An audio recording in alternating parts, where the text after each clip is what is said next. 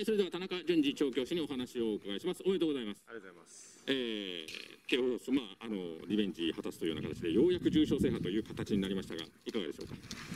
そうですね。あのーまあ服部がうまく早め早めに動いてくれたのが一番大きかったかなと思いますけど。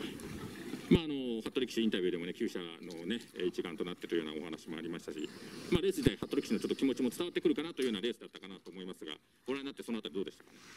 そうですね。前がちょっと速くなったんで、ポジションちょっと前すぎるのかなって思ってたんですけど、まあこの3日か4日間の競馬見てると一番いいコース取りで競馬運べたんじゃないかなと思って見てましたけどね。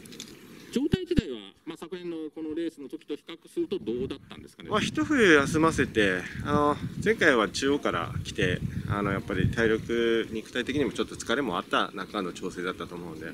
今年はね一冬休ませての調整だったんで今もリフレッシュしていい状態でいけたのとあとまあ調教法をちょっと変えて、ええやってみたんですよね今年は、ええでそれもうまくいったんじゃないかなと思いますさあこれでまあ今年一つ、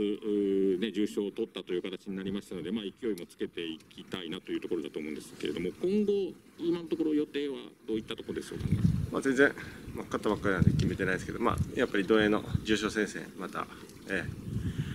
賑わせていけたらなと思いますけど。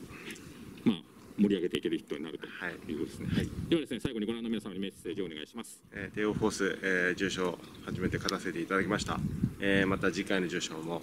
えー勝てるように、えー頑張っていきますんでまた応援の方よろしくお願いいたしますはい、えー田中淳二調教師でした。おめでとうございました。ありがとうございます